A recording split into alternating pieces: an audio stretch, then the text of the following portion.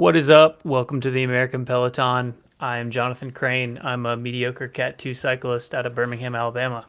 And I'm Ben, head coach at Skyway Cycling and team director at Skyway, presented by Domestique Coffee. There is a ton of stuff happening. We didn't even have time. We ran over doing our little uh, pre-show. Like, here's what we're going to talk about rundown. So, I'm gonna just like jump straight in and uh, get into it here. First thing on my list is uh, Riley Sheehan, who was on Den- Denver Disruptors last year at uh, Flanders, 13th. Yeah, 13th. Yeah, pretty insane ride and an example of a guy who like did well on the American scene last year, won Joe Martin. Um, and, but wasn't like just absolutely stomping everyone. And the thing that we say, like he was better than everyone else, but he was not like lapping the field at every criterium the way mm-hmm. that uh, certain people on Reddit would have you believe. I would say last time I checked, Flanders is not a two dot pro, so uh, your your move Reddit. yeah, uh, yeah, we had to start there. Um, so since our last show, there really there's been this big gap of racing. There's sort of the early season block of uh, mostly like short stage races, and then we've been in this sort of no man's land.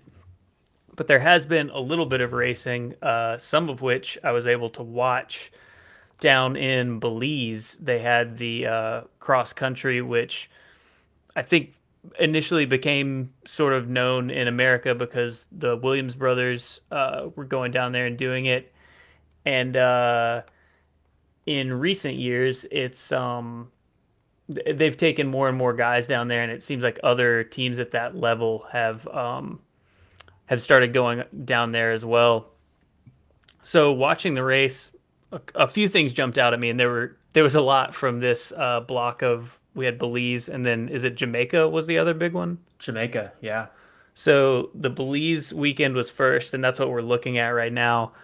And uh, Belize, surprise, surprise, a guy that we've been seeing at races and knew was like kind of on a on a tear this year. At least it's making me feel better because I've been chasing this guy around. Um, Max Abner, who rides for NGCA um, he was third in this race, and uh, he was guest. He was not riding for NGCA there. He was guest riding for Skyline. So two interesting things there. I think one, man, this camera footage is so shaky. Uh, it's yeah, it's insane. Yeah. Um, I think that uh, the Abner result. Someone correct me if I'm wrong here. I think that's Skyline's biggest result of the year. Maybe of the past two or three years. it's certainly the the one I can think of, and then right. also Blazers got totally shut out of the podium. Um, they sent a pretty big squad here. Um, Corey Williams, uh, Corey Lockwood, and uh, watching the race back, Lockwood was doing a ton of work. This was a really long race. It was like six hours or something. Um, Lockwood, as he is wont to do, was on the front just doing a ton of work. This footage is making me seasick, so right. we're, going. We're it's going like the Clo- it's like the Cloverfield movie. Yeah, I, I, where people were throwing praising, up in the theaters. We were talking in our group chat today about how no road races can have coverage, and I was like, "Well, that Belize race had coverage." And I do think most of it was better than what we were just watching. I skipped it to the end. I did I watched it, but I scrubbed through it on the trainer. I was only doing like an hour and a half, so I, I scrubbed through, and I think this the last bit that we were just looking at is a lot shakier than the rest because they're getting into the city, so there's more like traffic control, and the moto guys getting bumped yeah. by speed bumps and stuff. But oh. yeah, so a disappointing uh, outing for Miami, who our prediction was that they were going to be the strongest of the uh, Williams Racing Development uh, crew this year, which I think is still, still maybe true. I yeah. think that's still the case. Just a, a first swing and a first miss, maybe. Yeah. It's also like it's April, and you know, like the the Williams racing development teams don't do anything until Tulsa that they really care about. Right. So it's like a, you know, a random one-off. You know, get some race time it, get some race in the legs, but with that not focused on actually winning the race. Yeah, that that was before they even had team camp weekend, which I guess is a good segue. Oh, one more Belize thing that I have to mention is that uh, so Belize is technically a amateur race or non like if you have a UCI pro license you're not allowed to ride. Yep. And one goofy thing that happened is Alec Cowan Yeah. has apparently has some side of some kind of Canadian pro card USA or pro card or He has a UCI license. UCI license, yeah. Yep. And Blazers is not a UCI team. So he was being told he wasn't going to be allowed to start. So he did start, but he signed in as Connor White. And then other riders noticed that he was not Connor White and he had Connor White's number on and uh, told the officials. So that was a whole mess. Which this literally just happened in the women's world tour. Like Yeah. It, what is with this new? Okay, is this a new thing and it's just starting to happen now, or has this always been happening and we're just now catching it? probably the latter. I would imagine, like in the era of guys like hopping on trains in the Tour de France and like, you know, drinking bottles of milk and amphetamines, like people Yeah. were signing in other, under other people's names and stuff. I have to imagine also like before media became what it is and you didn't know Right. what people looked like. yeah, you could, there was you no could get away with stuff like that. There's Yeah, no way to be like, oh, this unless you were at the race, you don't know who Mathieu van der Poel looks like. Right. So you can get away with stuff like that. Yeah, I guess in a pre-Instagram world, how would you check? But now you can uh, you can get on there and double check it. All right. Now now it's clear. Now it's obvious. But so that was goofy. Uh, you had something from from Jamaica though, right? Yeah. So Jamaica, I don't know the official name of the race. It's like the Jamaican Bicycle Racing Classic or something like that. It's a it's a brief stage race out there. Um, Work hard, be humble. Who's one of the uh, they're a fresh D1 team last year, um, second year team this year.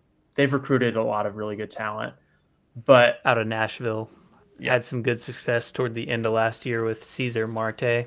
Yeah. Um, also Preston I. Um, some new recruits for them. Gabe Mendez from Miami Knights. A guy named Brian Newsom, who's kind of uh, first year racing last year, kind of went up through the ranks super quick, um, as well as some other guys. And they went down to Jamaica and had a really good result. Um, so the the podium was first and second was Team Medellin, and then third place was Work Hard Be Humble with Gabe Mendez for the GC and Preston got second in uh, I believe stage two or three. So really good outing for them. Yeah, Gabe is a huge pickup there. Gabe's coming over from NCL, uh, NCL Miami last year, where he Mhm. was. We mentioned it. I mean, he came on this podcast on this show uh, last year, so we were kind of hyper aware of the work he was doing. But he was he was a workhorse uh, for that NCL Miami team, and you know, shame he got cut there. But I'm glad he found a ride, and he's uh, able to be back out there racing already. And it looks like they're gonna do a pretty big calendar of of American crit stuff. We were Um, we were this close to getting him at Skyway. He's gonna hate me for saying that. I don't know if I could have helped him. that he didn't need the help. Yeah, yeah, we could just let him. It Let him would be nice to let him just go off the front, and then then my job's to just like, yeah, I got a guy in the break, like I'm good, you know. Yep. Yeah. That was that would have been the game plan for sure. Yeah, one hundred percent. Uh, so while we're still in the Williams Racing development, and I mentioned the um the team camp thing already, I got a couple other little pieces there. One is like maybe a little bit of a correction. I feel like when uh, Justin Williams' suspension was announced last year, which has not actually like come to fruition yet, it starts uh, on the thirteenth, so it starts this weekend Mhm. uh, a lot of people including possibly us. Um, there's no way that anyone could go look back and verify whether we said this or not, and we're wrong. Don't even try. Uh, a lot of people said it was a week suspension, and it seemed like it was timed in a window that was like very convenient for him. Uh, but now that we have a calendar for this year to overlay with that suspension, it really starts right as USA Crit starts. It takes all of USA Crits, which like I don't think that would have been a huge focus for him. He's not normally he'll he'll often do like Athens Twilight, um, and Legion will do some of that stuff, but it's not their ultimate focus. But it is kind of the big start. Like Sunny King is the big opener of crit season. It starts there and then it runs through Tulsa, which is normally the first race that Legion really, really, um, you know, traditionally they come out guns blazing um, at that race. So, yeah, April 13th to June 13th. I think that also takes um, Armed Forces Cycling Classic off the table for Justin, which is another big one that yep. Legion normally targets. So, maybe more consequential suspension than we initially thought when we didn't have a calendar to look at for this year. Yeah, I think that that suspension really relegates him to the back two thirds of the ACC races only. Um, and to be honest, I don't know how much we'll see Justin anyways. He seems to be really more focused on being the director behind uh, Legion and running Williams Racing Development. So I wouldn't be surprised if we don't see him really race anymore after this season. And with that suspension kind of running through all of the biggest races for the most part, save for Toad and Intelligentsia, I don't really see a reason why he'd be racing that much, anyways, to be honest. Yeah, I agree. So, who do you think that Legion is going to be? So they lost Tyler Williams to NCL. They mm-hmm. lost Boardman to Project Echelon. Um, who do you think they're going to be racing for this year? Maybe Robin. Yeah, Robin Carpenter. Yeah, that would make sense. Uh, I guess we'll see if he can step up. You know, in the same way. He's kind of a different style of rider, so I wonder if we're going to see that, like you know, Legion lined up six deep on the front, the way we've seen in the past. I think this is going to be a very different year from what we've seen in the past, both because of the differences of Legion, but then the sheer number of other teams that I think are, are stepping up. Um, mm-hmm. We talked about it last year, all these little incremental steps, but they keep happening. And I think we're going to have a really um, pretty even playing field this year. And one of the teams that I think is stepping up is in the Williams Racing Development House, the um, formerly Austin Aviators. They used to be last year, and we talked about how they kind of underwhelming, but also a first year. So, you know, can't be too hard on them for that. They had a lot of talent and not a lot of results last year. Yep. They have switched. We kept saying like they haven't posted anything. They haven't posted a roster. Like, what's going? Is this team folding? What's going on with them? They have changed the name. They are now Austin Outlaws, and they got a few big pickups. Uh, Lucas Bourgoin already he had a win um, at the first stage of Tour de Murrieta out in yep. California last week, and then I think he stayed out there and is headed to Redlands. I think they're splitting the squad, like some Redlands and some Sunny King yep. this coming weekend. Uh, but they got Luke, Lucas Bourgoin and Luke Fetz, Fetzger. I, this is not a full uh, roster too. They're still dribbling these announcements out, but yep. I think Paige Kostanecki's another big one. We've talked about her animating the races on the women's side a lot yep. recently. Um, another one I noticed was Amber Joseph moving over from Legion proper. Um, she's more of a track cyclist, uh, and so I'm curious to see if she's going to keep her same track program just with Austin Outlaws, or if this is kind of a sign that they're you know going to push her to do more of uh, crit racing as well. Yeah, I think that supports our point that they're just trying to spread the talent out a little bit more this yep. year. They saw that it was, uh, you know, not. They were, Yeah, it was very lopsided last year. Aviators was really not able to be up there, and even Blazers. We talked about how Monk kind of saved their season with that, um, with that national championship win on the amateur side. For sure.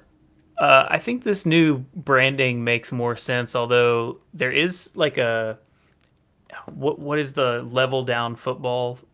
Uh, I should know. I think we have one here. Oh, AFL. Yeah, I think there's an AFL team or a similar like sub NFL level football team that is the Austin Outlaws. So there is. Okay, potentially some brand confusion there, but right. also maybe eh, maybe that's good. Maybe they can piggyback off of that. I think it makes that's, more sense for sure than aviators. That's, that's what the .cc is for in the handle. Hmm. Gotcha. You know, that's that's the branding separation right there. So they're they're drafting off of the existing uh, right Austin Outlaws. No, I mean I think the we haven't seen real kits yet, but I think what I have seen looks better than what. Not that the old stuff was bad. It just like there wasn't anything to it really. Um, yeah, I'll be interested to see what their real kits look like. So they're all racing all of three of the Williams Racing Devo, they all had um, team camp together, which is I'm a little bit surprised from an optics standpoint they would do that because the big criticism they all get is that like they're basically entering three teams worth of people as one team in these races and then they did the team camp together and all their media is together and they're essentially wearing the exact same kit yep. this uh, black ASOS with the houndstooth sleeve, and then just a small brand logo for whatever individual team they're on. Yeah, they are not beating the collusion allegations with this one. yeah, no, they. But they I think, but I think from a branding standpoint, if you're Justin, what they're doing makes sense. Because um, you go, if, if, if Legion's whole goal is to basically do in-house teams in a league, and so it makes sense to kind of like, hey, we're going to share some sponsors, have have the kits kind of look similar with numbers and names on them. For him, for branding standpoint, I think it makes sense. Um, but from a bike racing like neutral perspective, as far as optics goes, not a good look. Yeah. And they already have enough PR nightmares every year.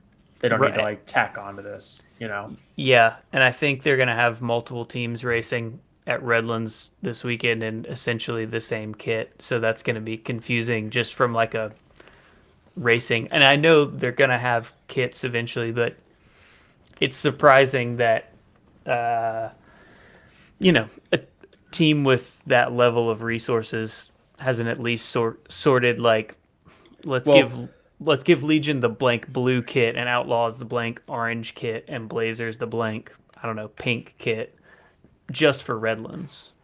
Right. Um or honestly, it's April. I'm sorry. There's no excuse to not have your your team kit.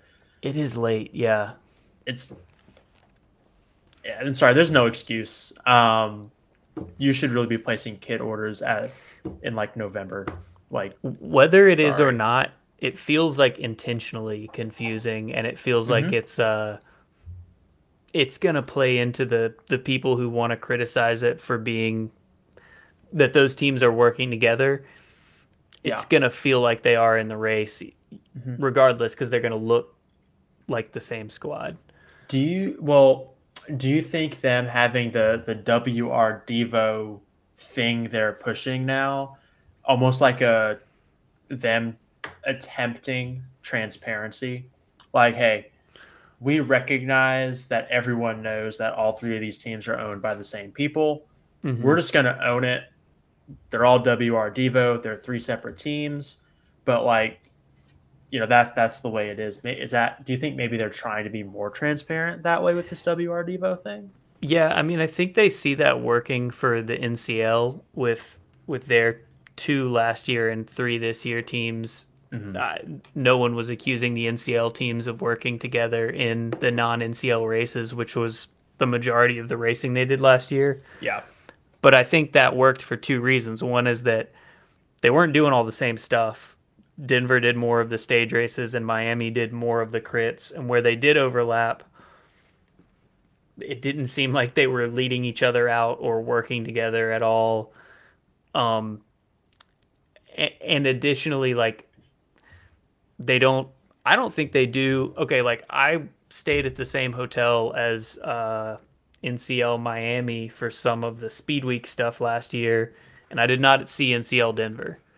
You know, yeah. like they were totally separate, and I don't see them doing team camps together. Maybe they are. I don't know. Someone could tell me if they've seen them they... all together. But if they are, they're not then posting about it. Mm-hmm. Um, and I don't know if that's intentional or not, but it seems like those teams are are truly like separate organizations that compete together, that have a shared ownership and compete against each other, but yeah, they're not um, doing the same training, going to the same places, all that kind of stuff. Yeah, exactly. Um, speaking of outlaws stepping up, though, and another thing I wanted to mention, uh, this is the finish from or last three laps of Murrieta. This is from the um, LA Crits uh, YouTube channel, Ray Mars. Uh, these these are really good. I think these are like the bellwether of um, small small production crew like what you can do with a small production crew it's pretty impressive that these are kind of small local races with a good broadcast um, yep. these have been trainer fodder for me but uh, this was the race that lucas bourgogne won the sprint um, and i think the interesting thing here that i've seen from watching a lot of these a couple things this iSpeed felt team. Um, they've been knocking on the door a lot. They're in the white kits with uh, fades to light blue. Um, I think that's a team that on the West Coast we may see this year. A team that I wasn't aware of until I started uh, watching these, but they seem mm-hmm. very strong.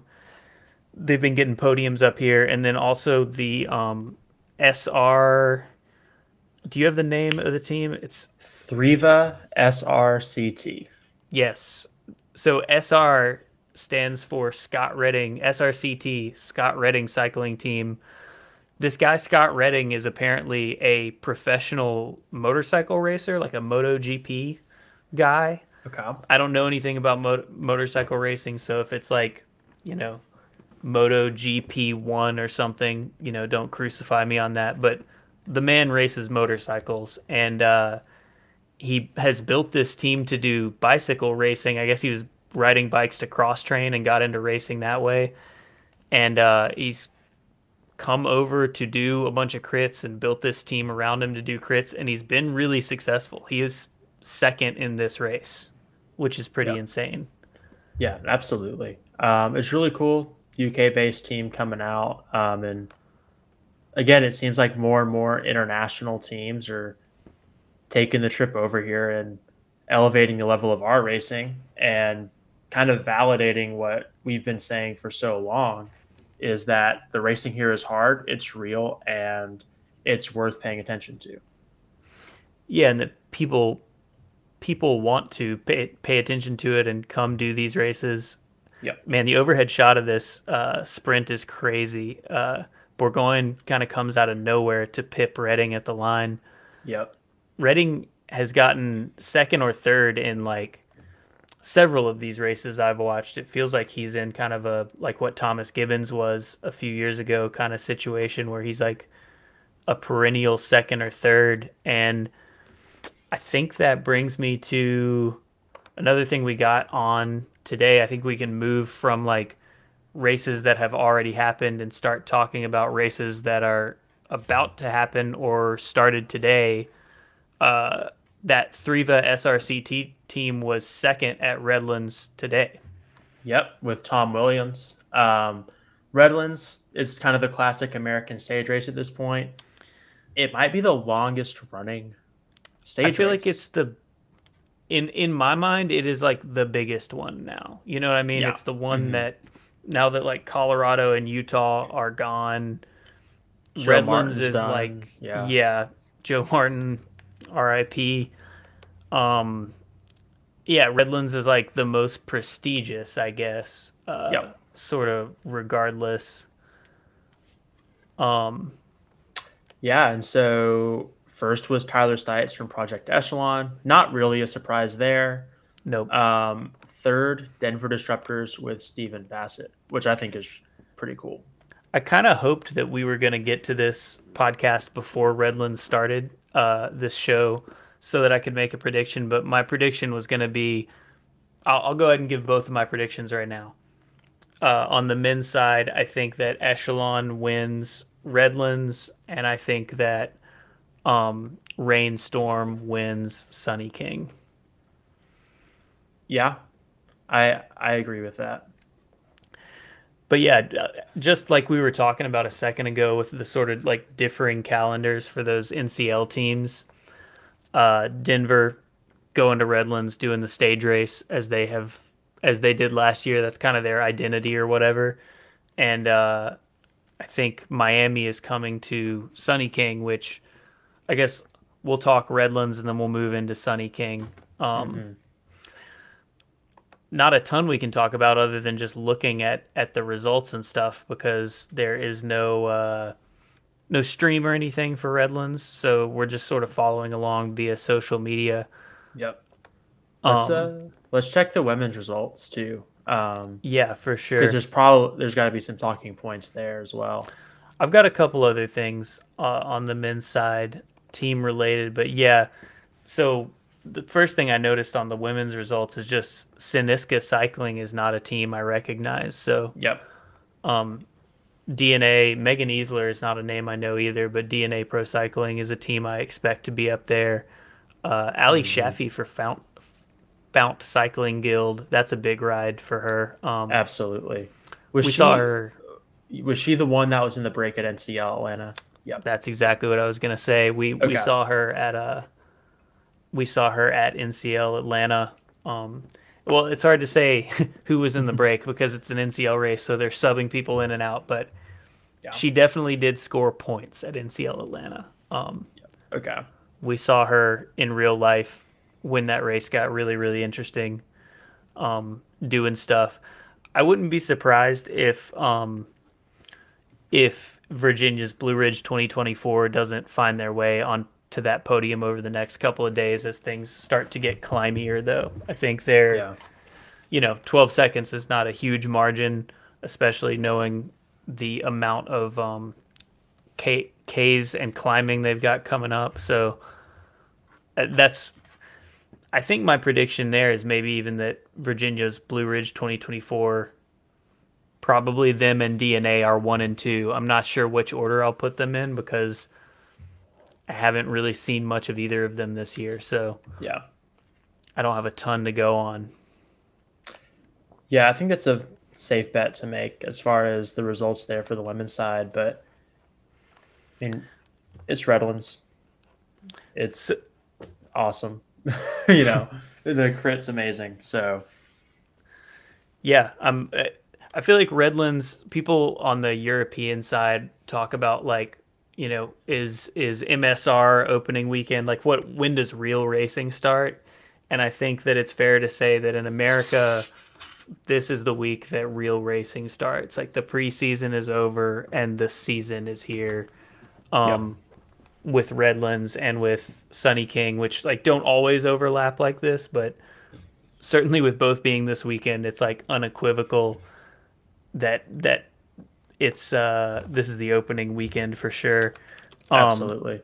the thing that I was reminded of looking at those results is the Ribble Rebellion team. They are over here and they were announced as doing USA Crits, but it looks like they're doing Redlands. They're going to miss Sunny King and then they're going to come over for the rest of USA Crits. So they're trying to spread it out. But they finally did a kit reveal. I didn't realize the black kit they were running was not their final kit or whatever. I'm really glad it's not. but yeah, I this You know what? looks good. I okay, I got mixed feelings on this kit. Like okay. I don't hate it, but this kit and the um I, okay, I think the bike paint job looks really good. I do think it's like goofy and impractical. I know it's part of the the thing with these uh, handlebars that they're unwrapped, but I think that's that's goofy and impractical. I think when your bars swing around and hit your top tube one time, you got to throw your whole rig in the trash, which is a dumb idea. Um, Yeah. but the bikes do look cool. Like I can't argue with that for sure.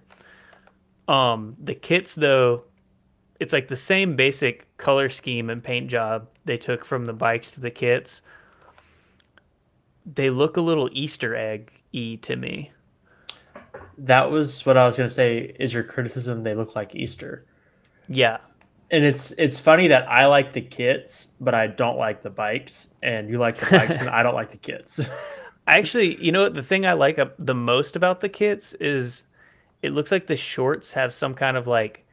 First of all, the shorts are like they're blue; they're not black. yep. and then they have some kind of speckle to them. Uh, I think that looks cool, but I think that it's also going to be confusing because the rainstorm kits are also a little bit Easter egg style. So, uh, Crit Beef, if you're out there watching, there's a meme in there somewhere with, uh, you know, two Easter eggs and then Ribble Rebellion and Rainstorm. And also it's like the arrow helmets. They've got the fully wrapped arrow helmets that are also like kind of easter egg color or rainstorm does. I guess that's how we'll tell them apart. The f- easter eggs with the white helmets are ribble rebellion um The rainstorm kits are like kind of aggressive, the rainstorm kits are a lot. And these like it's it's Easter. It's a little bit of a softer color palette, even though it's still kind of wild. Whereas like the rainstorm kits are aggressive, in your face, loud. Like you can't miss that one. yeah where the the Ribble kits have that European kind of like impressionist color scheme that is a little bit softer. we just got a question in the chat that um reminded me of another kit drop. The question is does the atlanta rise no longer exist? And the answer to that is they do exist. They don't exist yet. They actually haven't had kits. They just did their kit uh reveal. So i don't think they have any um events on the calendar. I would assume they're going to be doing some of the speed week usa crits spin the district uh Ouroboros of crits that I want to talk about a little bit later, but looks like they've got two two different kit options here. I think the lower one looks pretty good though. Um, One's like a home kit and one's like an away kit. Um, so I'm not sure how they're discerning what's home and away unless it's the the NCL events. right. I'll be honest, uh, kits are whatever to me. There's no dinosaurs or electric frogs or you know crazy designs. So It's if it's primal, I'm gonna pass on Yeah. a It's not kit. particularly primal. Um, Yeah. I think the uh, the Miami away kit is definitely a step up from last year's NCL Miami kit. Uh, the Miami kit kind of looks like 2015 PacSun shirts. It does, but I think it's still better than last year's kit. Last year's kit with the better. the like Yeah, screensaver city skyline um yeah. was like It's four rough. out of ten and this is like six out of ten so a step in the right direction i would say and also a color that i just like that color and they kept it graphically pretty simple so Yeah. yeah not bad but to the question of atlanta rise we haven't seen them doing any events together as atlanta rise yet but um We've We seen will- the we've seen them out racing as individuals, specifically Quentin Goosens. Um, haven't seen a lot of Brock Mason or John Brock or um, was it Howard, um, Forrest Howard either. Yeah, I think uh, so. No NCL races have been. I'm going to save this. We're going to get into this when we get into calendar later. I think the next thing we need to talk about is uh, is uh, Sunny King, which I'm going to be at. So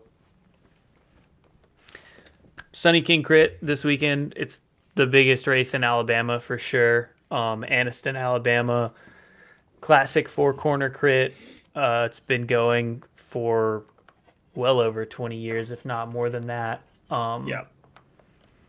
It was the first crit I ever did, and it looks like we're we've got a really good field this year. Um, looking at the pro registrations, actually the women's side looks a little bit thin. I'm interested Yeah. to see if that fills out before race day. I was surprised by how thin the women's field was. It's like what when I looked, it was less than 25 women. I think it may be more than that now. I'll I'll pull up the uh, the who's registered right quick, but so we can get a little bit more up up to date information. I guess this is the advantage of doing it live. Is like it's going out right now, so this is in the moment. Uh, what's going on? Yeah, a hundred in the men. I bet that men's field will fill up completely. Yep. Um, small field in the women's. Looks like a couple of Austin Outlaws. Oh, I just Elite. discovered this. I can sort by team. It makes it so much easier to look at. Right. So Kingdom Elite from Florida fielding a full squad here. SCAD Atlanta actually uh, looking pretty strong. It looks like some Goldman Sachs ETFs racing. I think there may be more Goldman Sachs racers coming. Uh, I've seen that team posting on their Instagram, um, and they made a couple of big pickups. I think on the women's side, that's maybe a squad to look for yep. moving up this year. Um, I, they made a couple of pickups from the riders that were left in the lurch by the NCL stuff. It's worth noting uh, Brittany Parfrey is racing for SCAD, which she could kind of boss that one. She could be a dark horse to win that. I see some uh, Debbie Milne is a little bit of a a legend uh, Yep. racing. Looks like solo for super bars. Yeah, I think we're gonna see more than that on the day. Um, For sure. On the men's side though uh yeah so atlanta rise to the question of do they exist or not? They do. It looks like this is their first uh, race as a team. They dropped their kit last week so i assume we're going to see them in their actual kits. Uh four four of them there three i so maybe burgoyne i believe i heard an interview with him where he said he was actually going to do redlands. So i wonder if um if all of them are just going to go do Redlands and we'll, you know, if they had pre-registered already. We might not see them. Gutenplan, uh, Cliff Drifters, um, CRCA Foundation from New York is coming down. First Internet Bank. First Internet Bank is a team that I don't really know who who's on that team or what they're doing this year, so I'll be interested to see them. Kingdom Elites fielding a full squad. Nashville the- local. Yeah, so uh, some dark, maybe not dark horses, but teams that punched above their weight last year that I'm interested to see. Um, Nashville local had a lot of good results with um, Kyle Teasler and Jeremiah Stoller last year, so I I think they could do well uh, at Sunny King this weekend. Also, um, NGCA has got um, Abner coming off that podium at the race um, in Belize, and we know that he is flying. We've been racing with him. Chad Conley, a guy who uh, won the first uh, when Birmingham Hammerfest was on the USA Crit circuit in 2017 or 18.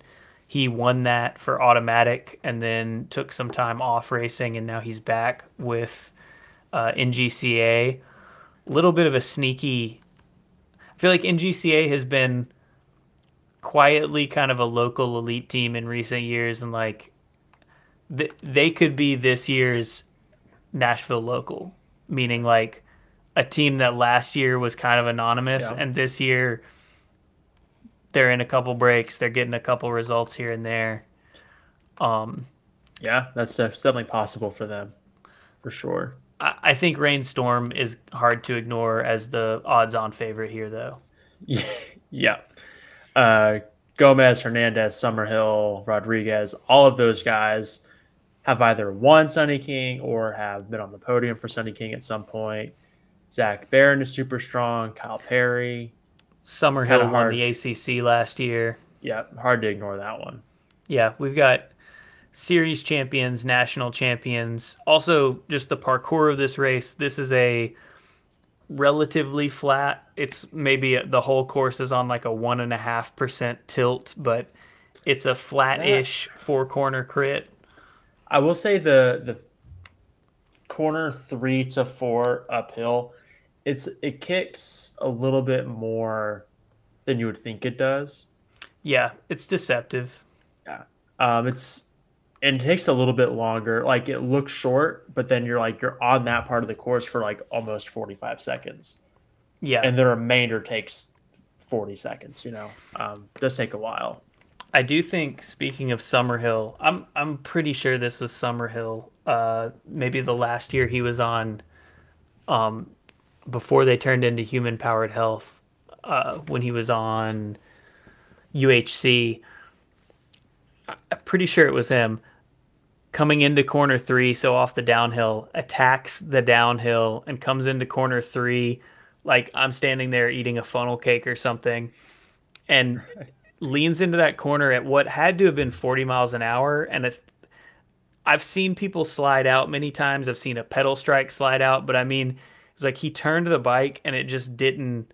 It was like the tires didn't hook up at all. He just continued right. going the same direction, but with his bike at a 90 degree angle just absolutely blasted corner three in a way that was unreal. Uh, did, didn't make the corner, like hit the bar- barriers and uh, did not make it. So hopefully, better luck for him. I mean, he knows what he's doing for sure, and he's had several years to correct that. But that image of like someone just barreling through that corner is burned into my mind. Um, that was scary that year. Yeah. Work hard, be humble. Also here, team mm-hmm. we were talking about earlier. So Gabe Mendez gonna be out there. Um, um, Velocia Sport Gage Hecht.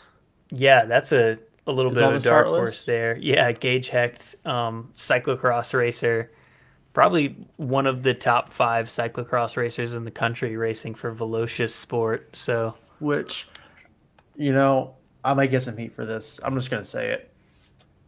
USA Crits website has Velocia Sport labeled as a D1 team. Not a D1 team. I'll just yeah, be honest. More of like a local elite team. Yeah. Although I don't know if they've got Gage Hecht now, maybe they'll maybe they'll step up this year. I don't yeah. know. And uh, like, what does D1 entail? I feel like when USA Crits uh, the D1 status was something where you like you kind of just had to pay your buy-in to it, and then you were D1 at least in the previous incarnation. So mm-hmm.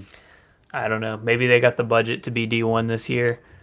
Um, Butcherbox has a strong squad here too.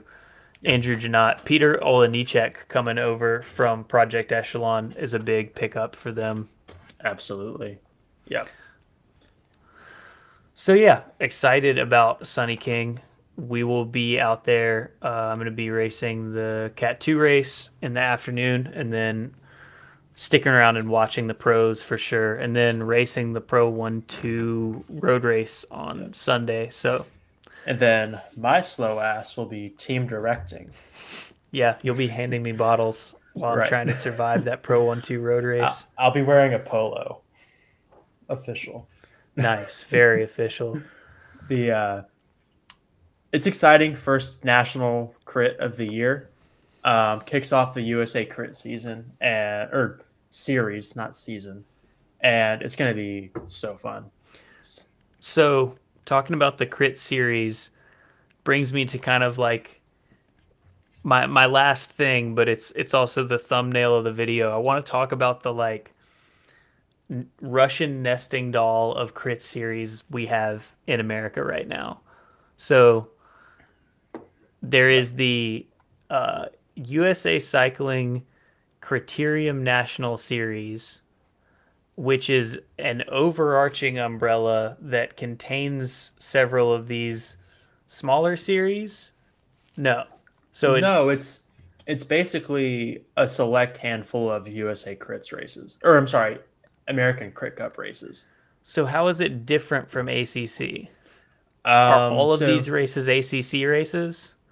From yes, um, and from what I understand, so the difference being, if I'm understanding it correctly, someone correct me if I'm wrong, is so like ACC is picking like day whatever of intelligentsia as the ACC race, and they're picking day whatever of Toad to be an ACC race or whatever it looks like. Mm-hmm. From my understanding, like all of intelligentsia is part of the USA cycling series.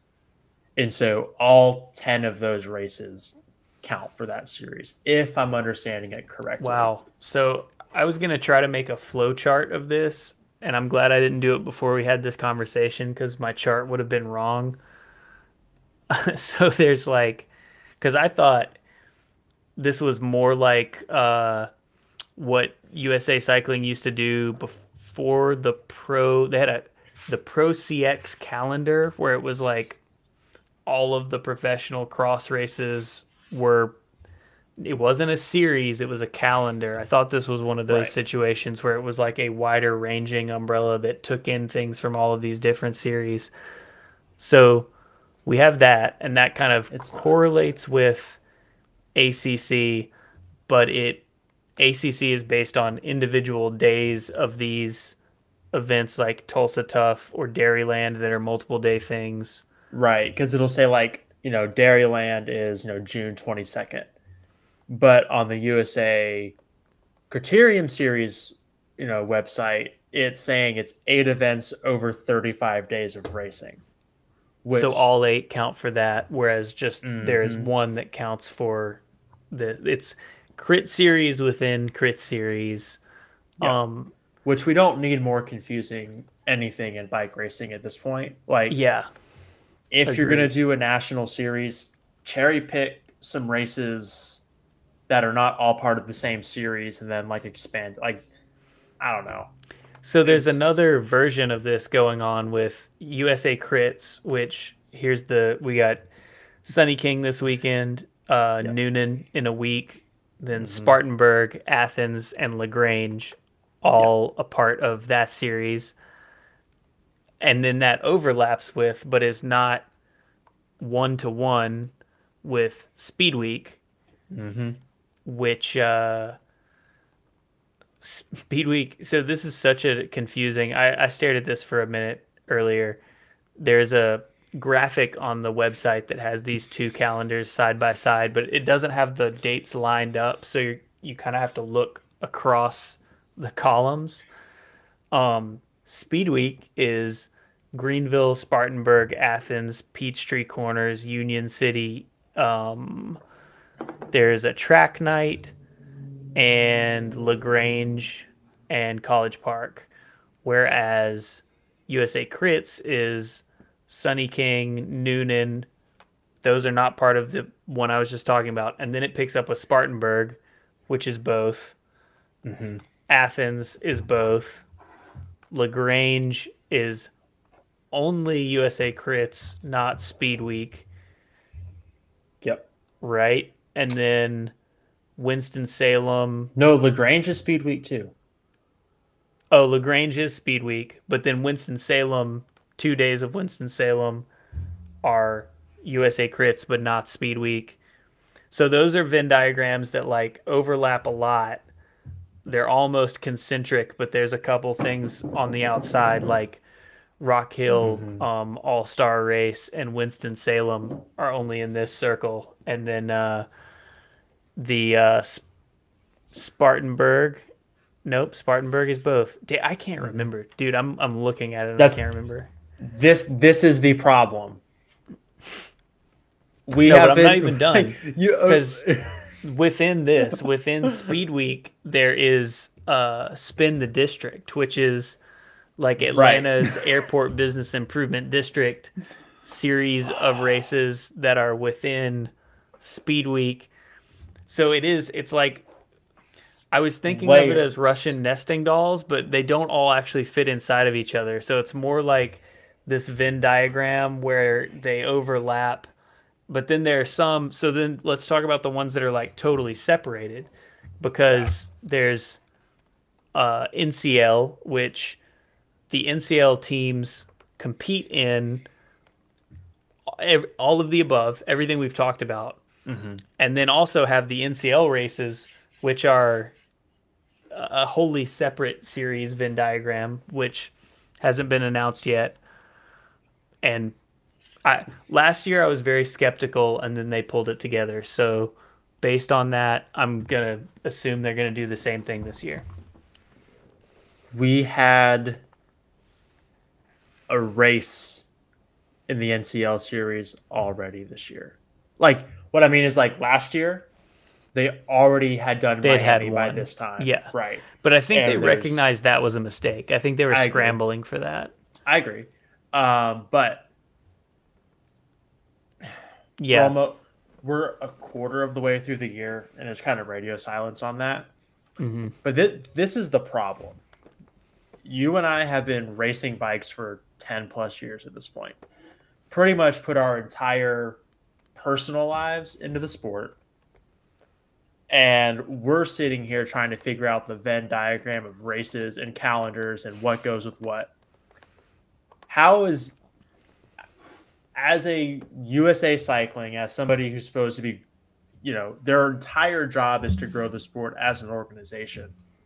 How is how are they supposed to look at a calendar of races or you know ACC or whatever, USA Crits, and actually say, okay, these are the elite top level races that matter and yeah, we're sitting here trying to figure this out. How is a casual person who maybe walked up to Athens last year and got into racing supposed to figure any of this out?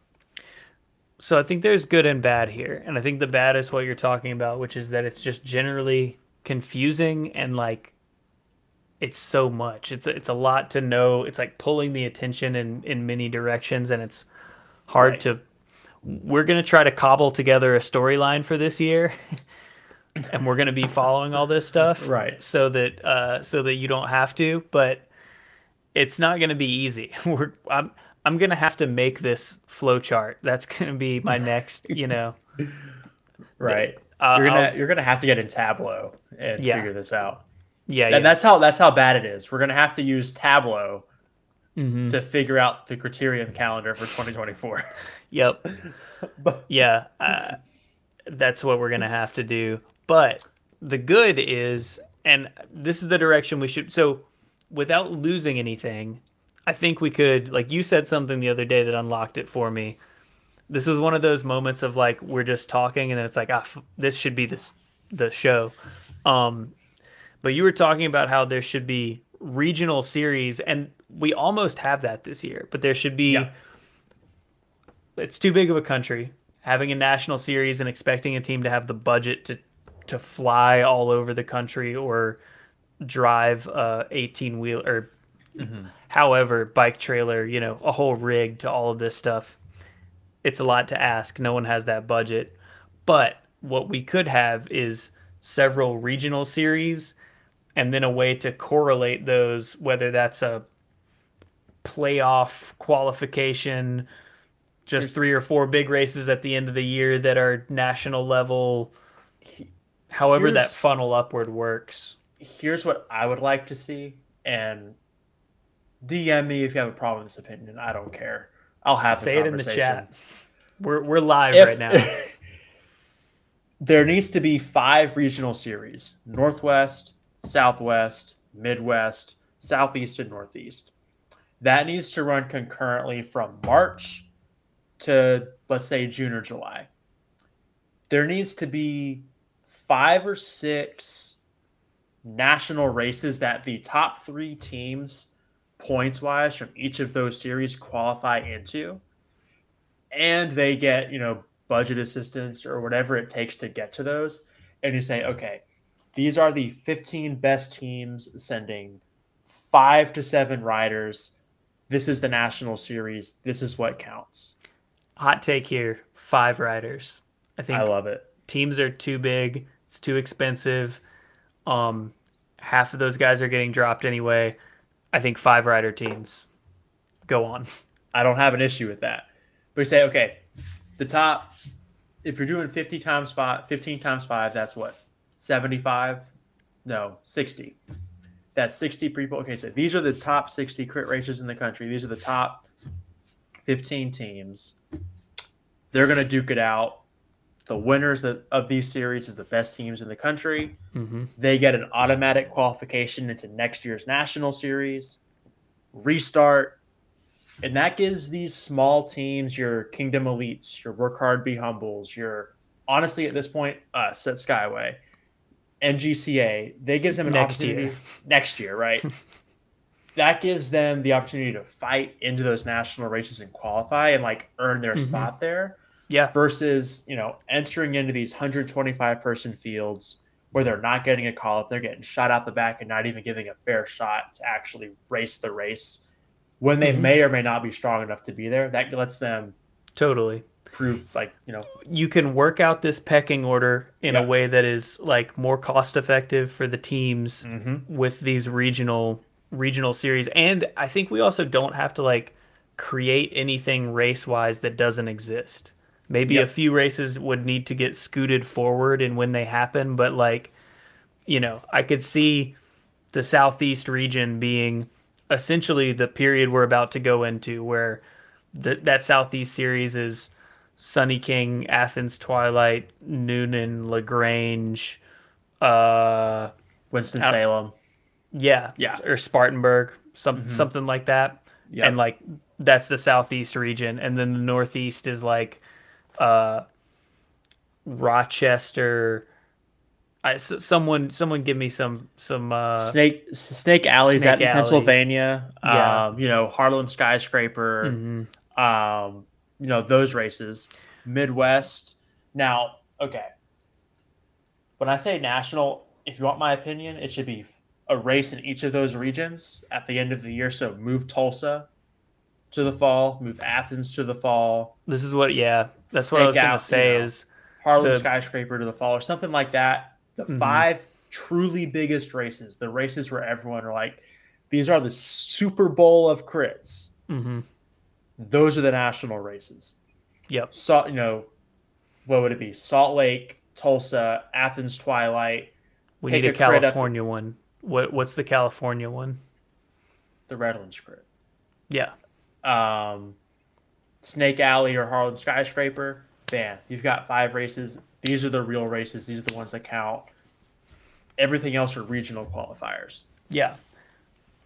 Yeah, uh, no, I think that makes a ton of sense. And and my point is that like we're not saying you have to create a hundred races that don't exist. It's just like we could take and they're already sort of self grouping themselves. Like USA mm-hmm. Crits is almost the Southeast, or even Speed Week is like almost the Southeast series this year. Yep. Um, ACC is almost the kind of like Midwest series this year. Absolutely. NCL could even, if they wanted to, uh, move their geography. See, NCL is is too uh, southeast focused, but maybe the Williams Brothers CRIT, maybe they do all those in California, and and that becomes the California series. Yep. Or they they pick up some uh, Manhattan Beach GP, Giro San Francisco. Those become CRIT races.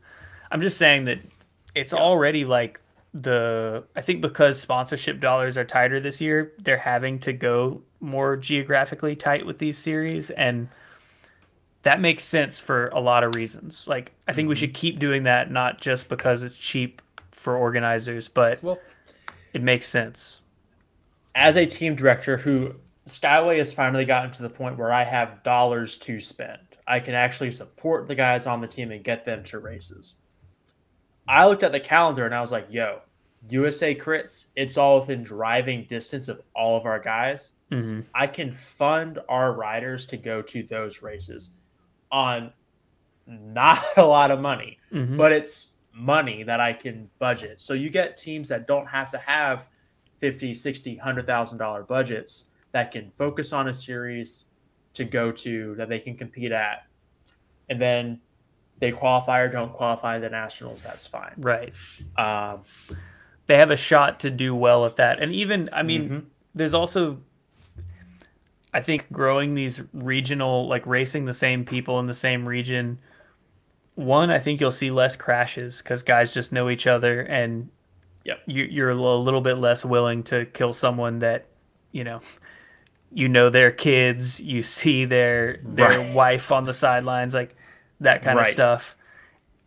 And also, it's it's going to grow those scenes. I think you're Mhm. going to have more amateur participation under that, where it's not, uh, you know, guys who don't have as much of a local scene pinning their entire hopes on one trip to Tulsa for the year and getting crashed out. I think if it's like there's five races I can drive to, they're happening every year. hmm Look at it from a talent ID standpoint. Like as a director, you know, I see one guy, you know, who's getting a consistent top 20 in these races. He's not on a team. He's a privateer. I can go, hey, we need to, you know, scout this guy. Let's interview him. Let's make sure, see if he's a good fit for the team.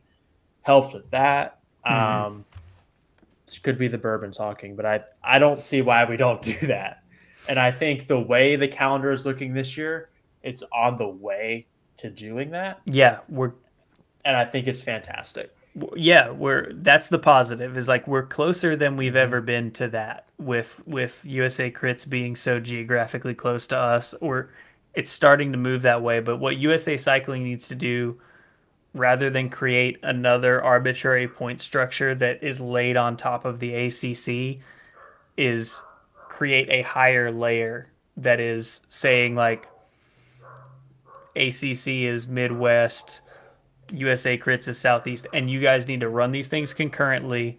And here's the point structure that will qualify you into Mm-hmm. whatever the the four big ones, the five big ones at the end of the year that we all decide are the big ones, and to be in the and maybe that changes how they work. It's not like a pro one two and then goes down from there. There's like a the championship race, and then there's a one two. You know what I mean? And to Yep. get into the championship race, you have to qualify in through one of these other series. You have to be a top team. I, I think it should also be team based. I think it should be mm-hmm.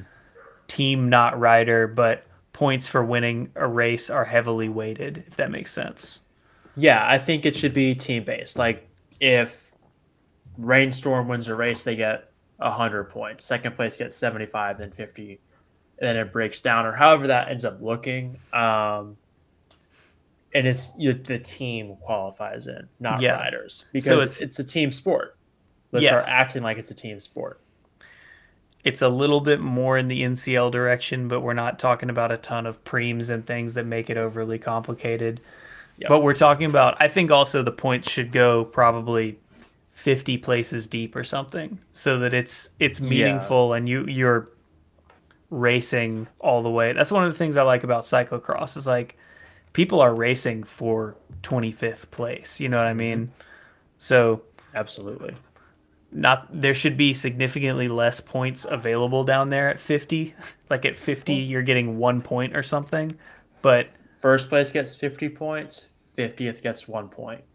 no i think it should no, be I'm, joking, I'm joking, but you Yeah. know, like there should be there should be a curve, but this yeah. is all off the dome we're we're live right now we're, we're doing the thing where we pontificate yeah after an sure. hour. Um, but I, I think that's the direction it needs to go to make American racing makes sense because it's not Germany, it's not Italy. We have such a big geography where you have to have a budget of almost a quarter million dollars to attend all of the big national races.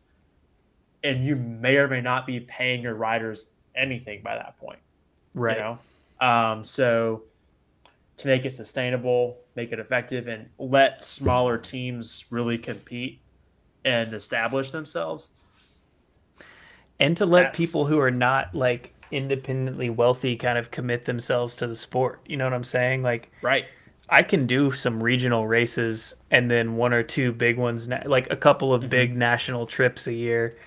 Um, but if you're asking me to fly to every ACC race, it's like I just I can't do that. I don't have that much paid time off. Well- Even yeah I'm not good enough to do that. But assuming I was, or you know what I'm Mhm. saying, So well, how, how much the... talent are we missing out on because they mm-hmm. can't do that?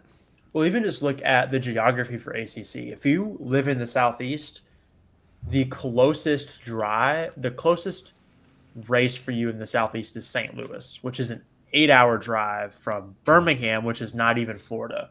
So, yeah. and then you're looking at you know Littleton, Indiana, Indiana, um, Utah. Like the ACC series is not feasible unless you are Legion, Rainstorm, an NCL team, um, Aevolo. Like you have to be that highest echelon level of team to even make it to all of those races. Yeah, for sure. And even then, it's like half of the teams you just named, those people are getting salaries, but I don't think they're getting salaries on Aevolo and they're juniors or whatever. But yeah, when you graduate from Aevolo, you have to get a job. It's like there's this step that's missing, and I wonder how many good uh, riders like fall into this this middle zone where they don't end up on a team that's going to pay them a salary. They could maybe even get on a team that would pay for them to race all of those races, mm-hmm. but not pay them a salary, and they go like, "Well, I'm going to go be an aerospace engineer whatever my degree was rather right. than you know. Well we saw that very clearly with mac dorf at salt lake. Is that what yeah where is he at mm-hmm. this year? Is he's he on, out? he's on a team. But you have that talent where he was on i want to say it was hot tubes there's that where we're talking about that missing the gap, yeah, the gap mm-hmm. where he was on top tube, super talented, was bossing the front of Salt Lake, mm-hmm. had nowhere to go. It took him at Salt Lake basically manhandling the race and getting every preem he could get to get noticed and by somebody, almost winning the race off the gambler preem. A right, crazy solo move. Right, that's the level of talent that's possibly getting lost in the the shuffle mm-hmm. because there's not a clear line. There's not a clear path to that. Level. Because it's not feasible to do mm-hmm. it. They're getting lost because the choice is, uh, you know, a ton of travel and zero dollars, or go have a normal life. Like there's, it's yeah, because it's a big country and a big spread out series. Anyway, I think this is a we so for everyone out there, we didn't talk about that at all before. This is no. just like the kind of thing we get into. That was the kind of conversation we were like, this should be the show. Um, we'll have this conversation like four hours into a ride, like yeah, calorie starved. yeah. So I think we've covered it. Um, yeah, we'll see uh, Sunny King this weekend. Yep. I'm excited about it. I'm excited to get my eyes on some of these new teams, Rainstorm especially. and uh, yeah, look for us in the Cat Two race, uh, one o'clock on the stream, one o'clock Central. Um, yeah, I we're gonna be back on a pretty regular schedule of these, I think. So I guess mm-hmm. start looking and maybe do more of these live. I don't know. This felt pretty good and smooth to me. We'll see how the I audio like and video. I like doing them live. Yeah. There's something about the energy of the live show and something about the fact that I don't need to edit it and it's already on YouTube. Yep. Anyway, thank you guys for watching. Uh, keep your eyes on this channel and uh, see you guys next time. Peace.